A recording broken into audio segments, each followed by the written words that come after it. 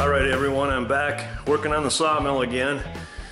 Doing a little bit of milling, a little drilling, a little grinding, whatever, and punching, and and then uh, what else did I do over here? Oh yeah, did a little bit of bending on the bender. So trying to uh, put together the final where the pulley's gonna go on this thing and kind of the belt clutch type of deal here. So this is what I got going right now. Well, you kind of saw this part here on the last video. And then I added down here, added this pulley, a second little jack shaft. Let me take you around into here. Oh, it's kind of dark in there. Hopefully you can see that. There's a little jack shaft in here. Brace is going up there. Ah, it's kind of a weird deal, but it is what it is. And this is one of those deals where I'm going to have a little bit of interference with this thing here and the belt. So I probably, I'm going to have to cut out a little bit here and kind of modify on the back side of this square tubing. So not too worried about that. And then I'm working on my mechanism here for um, engaging, disengaging the, uh, the belt. So I'm kind of using a belt clutch system like that. Got that in place, did a little bit of milling and drilling to make this piece here. You see where I milled out those slots here so I can move this thing back and forth. And then, uh, you know, I'm just using the advantage of being able to bend metal like this on my press. Bent this up, this will give it more rigidity, otherwise these bearings would be kind of, you know, flopping over the edge, right? So that'll give this a ton more rigidity. And then I've got this, I've got to shorten this a little bit, pop the 5 8 hole in there. And that will be going on these things here. And of course these got to be modified so they can be wider. Alright, so that is kind of where I'm at and I'm going to continue on here. Hopefully this gets, gets something uh, accomplished here.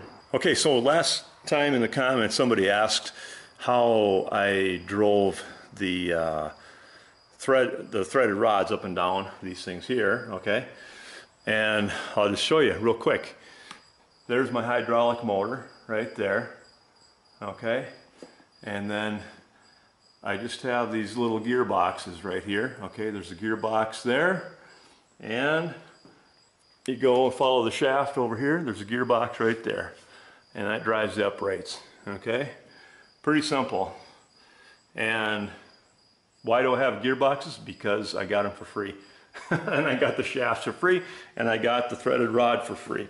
So that's why it is what it is. If uh, you know I had to buy this stuff, then maybe it would be something different. Originally, I was thinking about using um, you know chain up there, just like everybody else does. But I happened to get these things, and uh, that's why I have done what I've done.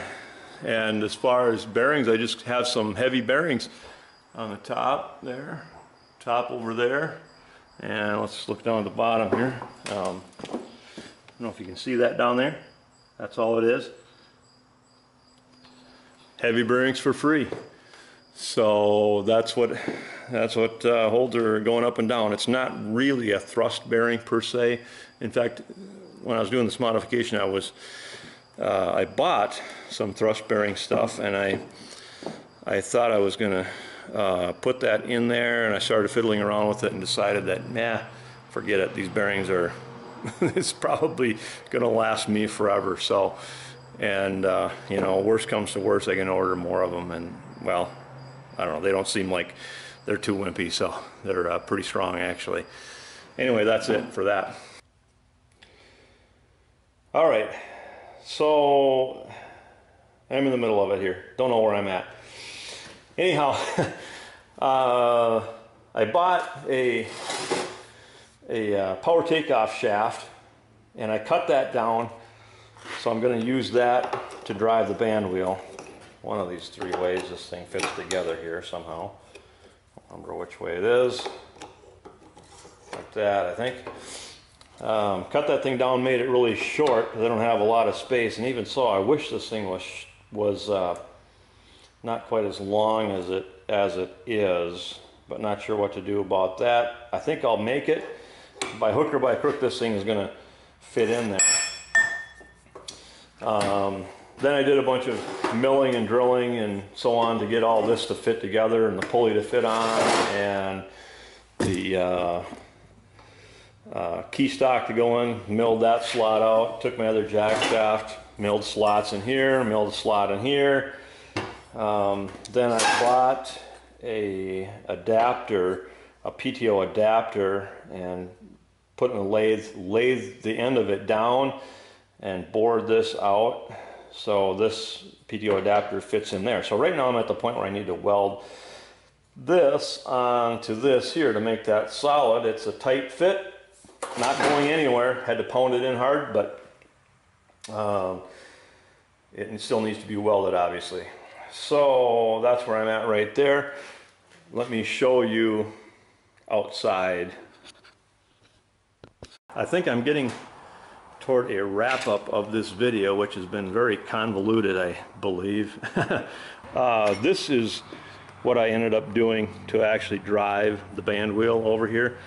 And you can see I just put my um, shaft in with the hub mounted on it in here for now, just to mock it up.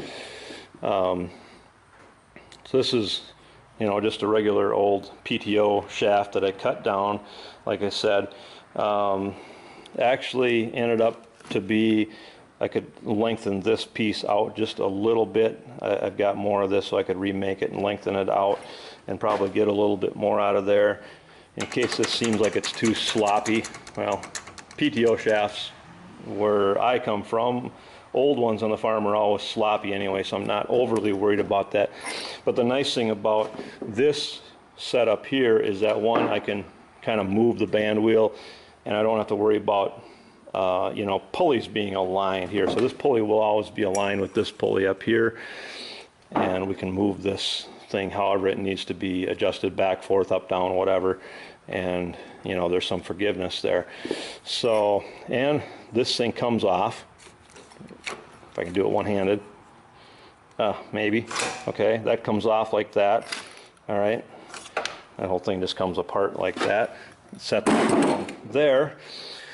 And that will allow me to get this belt off of these two pulleys here and change the belt because I can obviously have to get it over that shaft there. So that actually makes that easy easy squeezy. Um, and I got this welded in there. Nobody looked too close at my weld. All right. Then I've got uh, belt tensioners here. This one, air cylinder, of course, there, and it's going to push um, outward to tension that belt and kind of act as a belt clutch. This is just for mock-up right now. That'll be changed, obviously. It needs to be for three belts wide.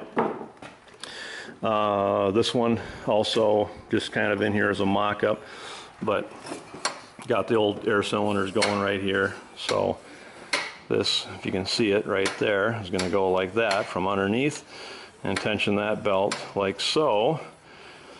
Um, and two air cylinders because I didn't know if one was going to be quite enough tension on those on those two belts there.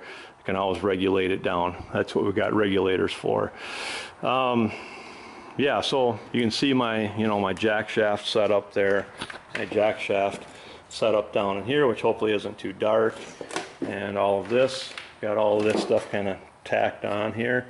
Now, um, just need to finish getting the motor all centered up um, on the, or on this plate here, and then getting the plate uh, drilled in, or you know, holes set here for where this is going to drill. And I think I'll just drill that plate actually um, and set that set that in there like so probably add another brace I don't know maybe not underneath here but maybe from over across here another brace that comes across to kind of stabilize this out because this is still a little wiggly woggly here and I don't really like that I want that to be um, yeah a little bit more stable especially when that motor gets running this thing will bounce like crazy and we don't want things bouncing apart.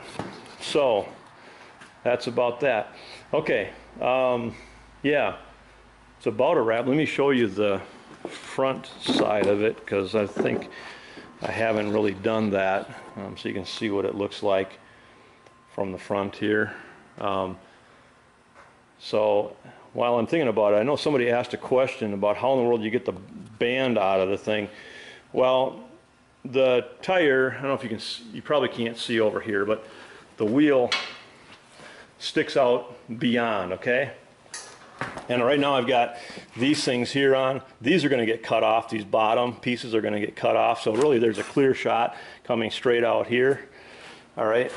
And the wheel is will be down below this thing. So this is going to be put on the back side. These things here were for my um, my guides, my blade guides, and because of how one side ended up being kind of bindy and the other side didn't, I ended up turning everything around from what I wanted it to be, and that's just life in the big city, I guess. So, um, yeah, these get trimmed off, and then the blade comes out at the bottom, will come out at the bottom and um, first, and then kind of flip up through the top. These things here, which are notched right here, just kind of loosen up and come out of the way. And I'm actually going to flip these around too. They're supposed to be so the handle side is over here. And all three of those flip out of the way. And you can see there's just a clear shot you know, the blade goes above all of this stuff right here. Okay, it rides above all that junk. And there's a clear shot above that. And so that's how that's gonna come, come out. Should work uh, easy squeezy, I hope. And for some reason it don't, well, then it'll probably be, you know, like maybe a little bit of trimming or something right here to, uh, to get the job done. But otherwise it should be it should be good. But anyway, I thought I'd back up here and you can take a shot. Um, this was not going to be a super huge mill, but it should be capable of cutting something at up to 49 inches wide when it's done. So that's between the uprights. Yeah, so that's about a wrap for the mill. Thank you again for watching. We will see you on the next video.